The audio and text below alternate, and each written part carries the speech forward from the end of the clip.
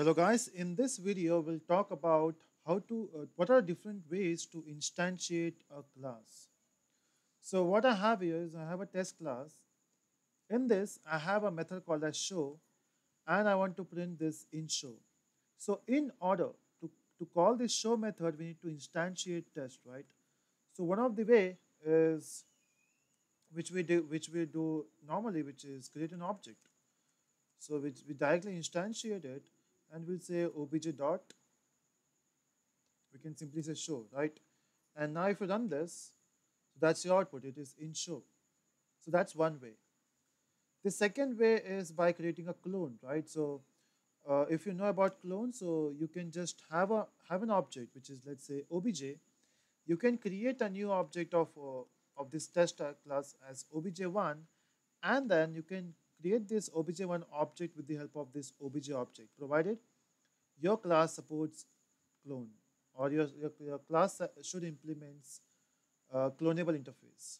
So if you don't know about cloneable interface, you can search for a cloneable uh, or what do you say, cloning, object cloning video on my channel. So that's second way. The third way is by using deserialization. So whenever you do deserialization, it will create a new instance. So if you know about deserialization, it's something like, uh, you know, uh, I have a video on that also. You can just search for serialization in Java in my channel, so you will get the idea of deserialization. So what are three ways? First way is this. Then we can use clone, we can use deserialization. In fact, if you know about the latest framework, which is Spring Framework, so in Spring Framework, you have something called as dependency injection. So we have uh, uh, dependency injection. So that's the uh, another way. Now, do we have any other way of uh, creating an object or instantiate uh, a class? So let, let me go in this way. So there is a class in Java called as class. So there is a class itself called as class. Let me create this object of that class as C and we'll say class dot. So there is a method called as for name. So this for name is a method is a static method belongs to a class class.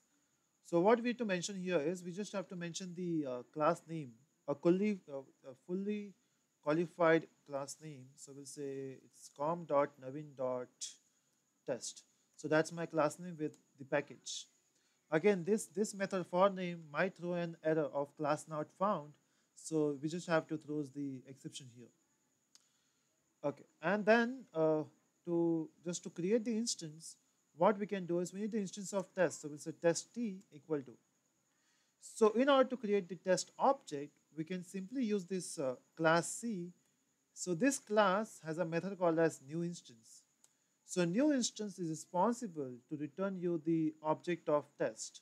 But by default, this new instance, if you see the uh, if you see the property, it returns you the type of t. So if, if you are going with uh, generic, but by default, it will return you something called as object type. So what I need is test type. So using typecasting, I will be getting this object and we can simply say t dot show. So that's one of the way.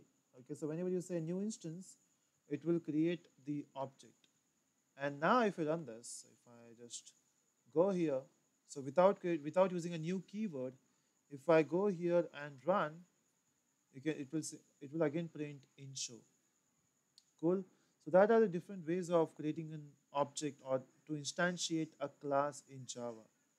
So I hope uh, you like this liked with this video. So do subscribe for the further videos. Thank you so much for watching.